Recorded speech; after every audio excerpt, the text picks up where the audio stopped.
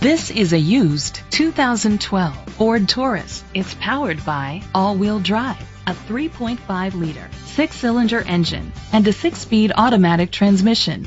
The features include a turbocharger, a power sunroof, internet connectivity, electric trunk, push-button start, leather seats, heated seats, heated rear seats, Bluetooth connectivity, Ford Sync voice activation.